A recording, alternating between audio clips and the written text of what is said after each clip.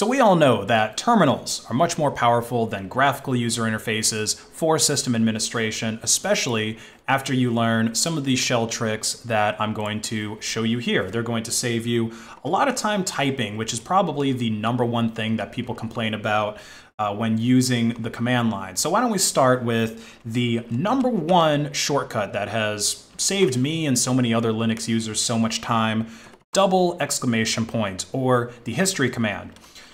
So this basically reruns the last command that you ran on your shell. Uh, most common use case for this is probably sudo double exclamation point because nothing is more annoying than typing out a long command and then having a terminal tell you that you need root privileges to run it and now you got to type all that stuff out again uh, with sudo at the very beginning. So you just saw that it ran uh, sudo neofetch, which obviously kind of a useless command to run, but we've all been there before where our terminal tells us we need to have root privileges and if you're just typing out the whole command every time that happens, you're gonna really hate yourself.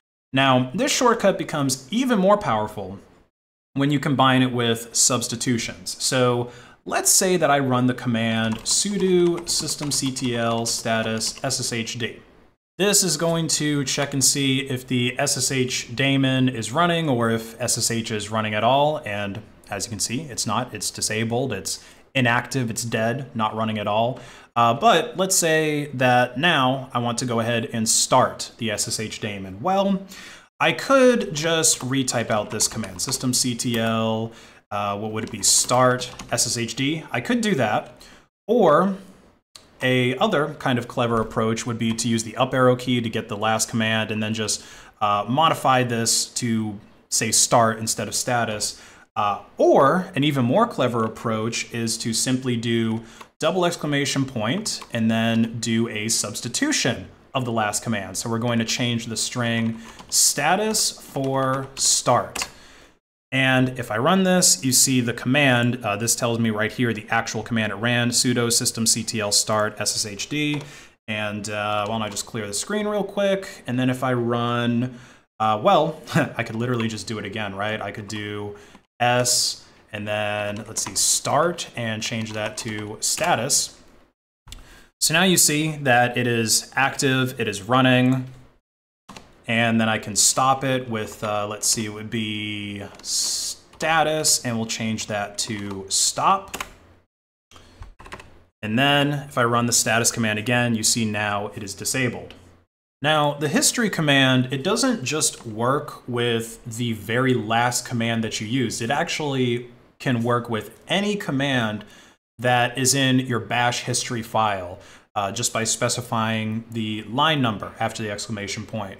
Uh, and in case you didn't know, you do have a bash history file. Uh, it's, it's hidden by default, so just like dot bash history. Uh, usually either in your home directory or maybe it'll be in like your config directory. Uh, but anyway, this is what keeps track of all of your history. So you can see on the very first line um, down here that ls is the first command I've ever run, I guess, since I've been tracking my bash history or since I've last cleared it or whatever. Uh, so if I were to do exclamation point one, it runs ls.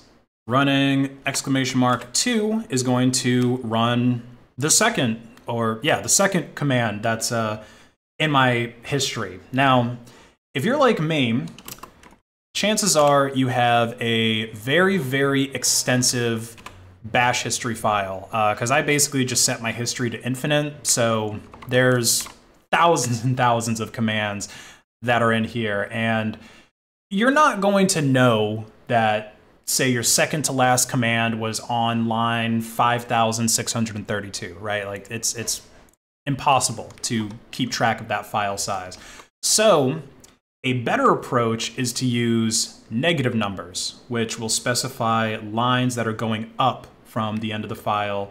Uh, same idea as if you wanted to print a number from the end of a list in your favorite programming language, right? So if I do something like uh, exclamation point negative two, that's going to run the second to last command, which in this case was uh, cd go back a directory, because uh, which is also the, what, second command in the list because it's just repeating that same thing again. Um, but you get the idea, right? If I were to do uh, exclamation point minus three, this is gonna do what, an ls? Uh, or no, it's gonna do another uh, back directory. But yeah, you get the idea. Um, and then let's go back into this temp temp folder for the next example. So we're going to look at the lesser known cousin of the uh, history command, which is exclamation point star. So this tells bash that you want to reuse all of the arguments from the previous command. Okay, so let's say that I create a bunch of files, right? I'm gonna touch file one, file two, file three, file four, and file five, all right? So I just created those five files, uh, and this one was already here. This is gonna come into play in a moment. Now let's say that I wanna change the permissions of all of those files, right? I could just run chmod 777 uh, you know, on file one and just redo that for every single file. But I want to change the permissions of all of them at once, right? I want to do this quickly. Could also run, or you might think I could run chmod 777 file star. Uh, so this star stands for a wildcard. It basically just means um, whatever comes after the previous part. So this would change every single thing that begins with file in this directory, right? If I didn't have this file, that'd be fine. But this one says, you know, file 12 do not change. So we don't want to change the permissions of that. So instead, what I'm going to do is chmod 777 and reuse the arguments. But actually, I can't do this because if you see the last command I ran was ls. And I didn't even use any arguments on that. So this is just gonna fail if I run this. Like here, I can run that and it says, you know, missing operand after 777. So uh, what I have to do is chmod 777 and let's see now this looks like it's two commands ago, three commands ago. So I need to do exclamation point minus three, or excuse me, exclamation point yeah, minus 3, and then the argument. So now this ran chmod 777 on those five files. And if I list out all the files and their permissions, you see that all of those have read, write, and execute, but the file 12 do not change has been preserved.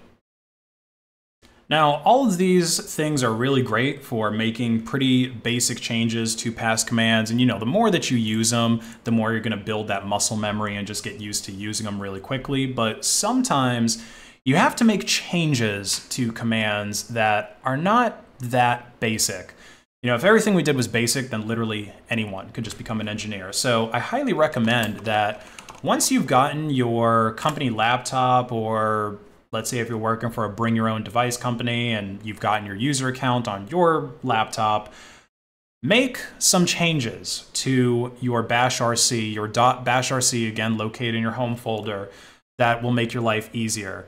Uh, so there's a lot that you can do in here. Um, you can do things like uh, define shortcuts, define aliases. So shortcuts would be like for different um, folders. That way you could just very quickly go to it. Uh, or aliases. Basically let you create your own customized command. So you can just type out foo and it can run some big long command that maybe you're going to run every single day. Uh, ls colors. So this can let you change the color of file types, like when you do an ls, uh, based on, well, based on their file type. So that way you don't have to constantly run the file command if let's say file's missing its extension to figure out what kind it is, right? You can just look at the color, and again, once you've got this memorized, then you can say, oh yeah, this is the color purple, so I know that it's an exe. This is the color green, so I know that it's a like Python file or whatever. But the main thing I wanted to show you in here is at the top, this set hyphen O VI. This is going to let you use Vim keys to edit commands easier. Now, of course, you need to have VI installed on your system, uh, but it already is going to be on pretty much any Linux system. So uh, why don't I just show you this command in action? We'll take a nice long command like this. Uh, I'm in insert mode right now, so if I start typing like I, it's just gonna, you know, create eyes. But if I hit escape, now I'm in normal mode for Vim. So H is going to bring me to the left, L is going to bring me to the right, and I can also go back uh, by doing B to go backwards. I can do W to go forwardwards. Uh, if I wanted to change something, I can do CW, right? That changes the word, uh, and then I can just type out whatever I want in there. Uh, you get the idea. If you know Vim already, which really is something that you should learn if you're going to be working with a lot of different Linux boxes because, well, it's already installed. Okay, you don't want to be that guy that's asking the manager if it's okay to install Nano or Emacs on the company server so that you can administer it. Uh, yeah, get comfortable with Vim. And once you are enabling Vim mode uh, in Bash or ZSH, because every good shell is going to support this, you're going to instantly become three times more powerful on the shell. The junior devs are going to bow before you. They're going to offer to get you coffee just so that they can be in the presence of your greatness. But that's it for this video, guys. I hope you found it useful. Go ahead and share it with a friend if you did. Like and comment to hack the algorithm, and have a great day.